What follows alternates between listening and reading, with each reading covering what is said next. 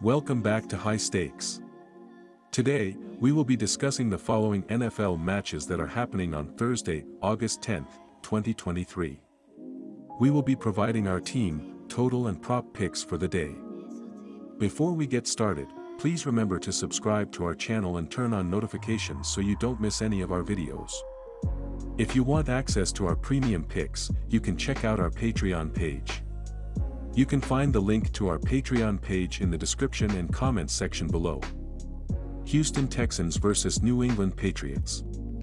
The Texans hand over the reins of the team to their fifth head coach in the least four seasons as former Pro Bowl linebacker DeMeco Ryans gets his first crack to lead a team in the NFL from the sidelines. He'll be learning alongside his new quarterback as well, second overall pick CJ Stroud, who all eyes will be on as he makes his NFL debut. The arsenal of weapons at his disposal will be weak, with Nico Collins, 37 catches, 481 yards, 2 TDs in 2022, standing as the top receiving target. Last season the Houston offense averaged 196.7 yards passing and their 283.5 total yards per game was second lowest overall. The line took a hit this week when starting right tackle Tytus Howard went down with a hand injury that could cause him to miss a good deal of time, according to reports. Stroud isn't the only rookie to keep an eye on. On the defensive end, Will Anderson Jr., picked third overall, is a sacks machine off the edge and should be worth keeping an eye on, especially if you are the opposition and hope to protect your QB. Houston had only 39 sacks a year ago, so this was an area they definitely wanted to address in the offseason, even adding the likes of veteran Chase Winovich to bring depth to the group. Overall, the defense will have a good mixture of young talent and veteran leadership and could turn into a strong point for the team this season if they can come together early. The Patriots offense is now being handled by former Texans head coach Bill O'Brien, which is a boost for a team whose coaching staff was out of order last season. The person who suffered the most was probably Mac Jones, who took a bit of a step back in his second season. Now, he has an actual offensive-minded coach to guide him and hopefully more stability in the offense. The Pats seem to have whiffed on a few potential targets to his arsenal in the offseason, but New England's receiving core is solid, if not deep, at least. Both teams had their issues last season and the hope that they can improve in 2023 is a work in progress. Houston has a lot of youth on both sides of the ball as they added what they hope will be anchors for the franchise. New England does have the experience factor with Belichick as their head coach but they have to find ways to improve the offense. We know that the Patriots have some talent at skill positions but it remains to be seen how things will click on that side of the ball with O'Brien back to take over the play calling. As it stands, you have to give the edge to the team with some proven experience in this one. Take the Patriots at home as they earn a win. Our team pick is New England plus 1.5 points. New England has struggled since Tom Brady left to go to Tampa Bay, going 25 to 25 over the last three years with one playoff appearance that ended with a blowout loss in the wild card round to Buffalo in 2021. The Patriots were 8 to 9 last year and crumbled down the stretch to wind up outside the playoff picture. New England brought back Bill O'Brien as offensive coordinator and hoped that he can get things clicking on that side of the ball as the team was just 17th in scoring offense, 21.4 ppg, a season ago. Even finishing in the middle of the pack in scoring, the Patriots were just 26th in total offense, 314.6 YPG, and 24th in rushing offense, 106.6 YPG, in 2022. Offensive line was a major issue for the team last season but they didn't make any major efforts to fix that in the offseason, leaving one to wonder if that will crop up again. Mac Jones, 288 of 442, 2,997 yards, 14 TD, 11 INT, is still the number one QB on the depth chart for the Patriots despite his regression in year two. He likely will spend most of the preseason wearing a hat or a visor, standing on the sidelines. That means we're going to see a fair amount of Bailey Zappe, 65 of 92, 781 yards, 5 TD, 3 INT, with the first team offense, such as it is, in the preseason. He'll battle Trace McSorley, 45 of 83, 412 yards, 5 INT, for the number 2 spot on the depth chart more than likely though watch out for rookie Malik Cunningham, who was a dual threat at Louisville. Ty Montgomery, Pierre Strong Jr. and Kevin Harris will battle to determine who will be the number 2 back behind Rhamondre Stevenson now that Damien Harris is gone. Tyquan Thornton, who was a second-round pick last season, will get a chance to make an impact along with Tre Nixon in the passing game. Rookies Kayshon Boutte and Demario Douglas will also try to shine in a less than intimidating receiver core for the Patriots. Defensively, the additions of cornerback Christian Gonzalez, safety Marte Mapu and defensive end Keion White should bolster the depth on that side of the ball.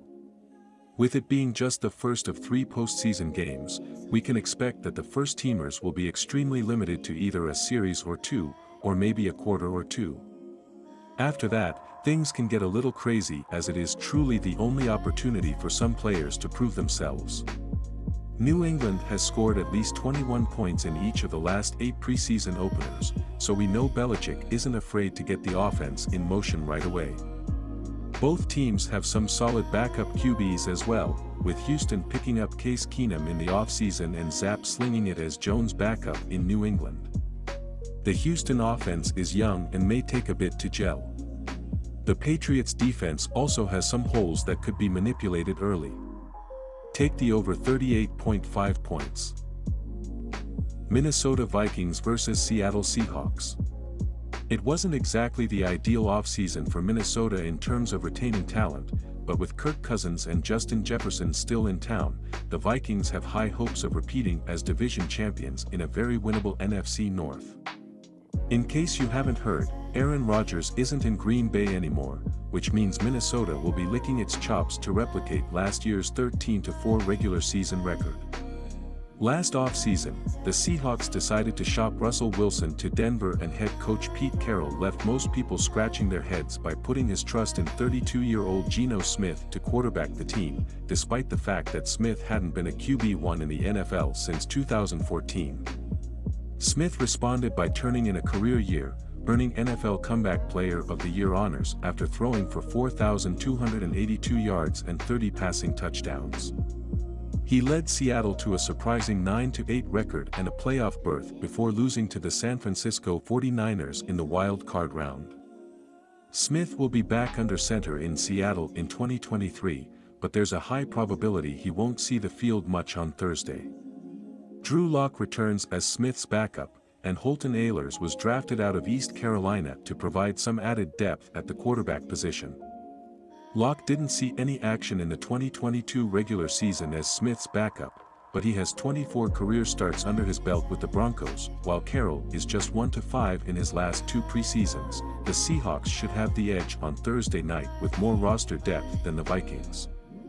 Minnesota's defense, which struggled for large stretches of 2022, will be spending the preseason trying to develop continuity with new DC Flores schemes. They will have difficulty facing Seahawks veteran backup quarterback Drew Lock on Thursday night. Lock does not have the luxury of competing for the starting job this season but he is certainly a more established backup than the Vikings' Nick Mullens and rookie Jaren Hall. I don't expect any of the offensive starters from either team to see many if any reps in this game so I'm going to lean toward the Seahawks, a team that will be playing with far more continuity this preseason than the Vikings. Vikings head coach O'Connell proved last season, in his first preseason as head coach, that he doesn't feel any pressure to win preseason games after his team went 0-3 in 2022. The line moved up two points in the Seahawks' favor this week which likely factors in Lock's advantage at the quarterback position in this game. Take Seattle minus 4.5 points. The Minnesota Vikings finished tied with the second best record in the NFC last year at 13-4 but looks can be a bit deceiving. Despite winning 13 games, the Vikings finished with a negative point differential thanks to a number of single-digit wins coupled with blowout losses. The Vikings were bounced out of the playoffs in the first round and the team made several changes this offseason. Former Miami head coach Brian Flores comes in as the team's new defensive coordinator, hoping to bring a more aggressive, physical style to a defense that struggled at times last year. The Vikings also released two stalwarts on the team's offense, wide receiver Adam Thielen and running back Dalvin Cook. Justin Jefferson, arguably the NFL's best wide receiver, should help ease the transition without Thielen while Alexander Mattison has had frequent in-game reps behind the injury-prone Cook over the last couple of seasons. Quarterback Kirk Cousins is heading into the final year of his contract and, at 34, is heading into a critical season. Position battles will be at the forefront of the Vikings preseason opener. While Alexander Mattison will take over featureback duties for the Vikings this season, the position as his primary backup is up for grabs. Ty Chandler, Kene Nwangwu and DeWayne McBride should all get equal opportunity to earn the job this preseason. Another key position that will be evaluated will be at cornerback. Byron Murphy Jr. and Caleb Evans are listed as the starters currently but that could change during camp.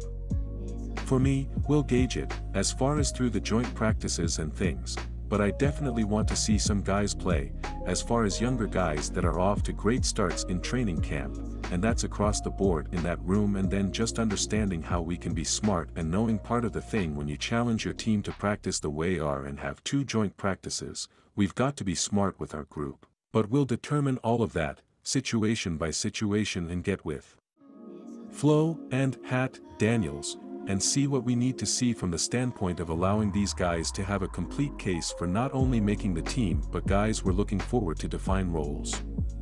I like the under in this matchup. Both teams made some necessary additions to their defenses in the offseason. Minnesota's defense ranked 31st last season in yards allowed, so there really isn't anywhere for them to go except up, especially with a new defensive coordinator who has had success at the highest ranks of the NFL. Seattle's defense in 2022 certainly wasn't the best it's ever been under Pete Carroll, but Bobby Wagner is back now, along with other additions and no key losses. Traditionally, it's not easy to score on the Seahawks in front of the raucous crowds inside Lumen Field. The Vikings will have a lot of inexperienced players on the field on Thursday, and with Geno Smith likely on the sidelines for a large majority of this game, if not all of it, Seattle's offense won't be nearly as high-powered as it will be during the regular season. Give me the under 34.5 points.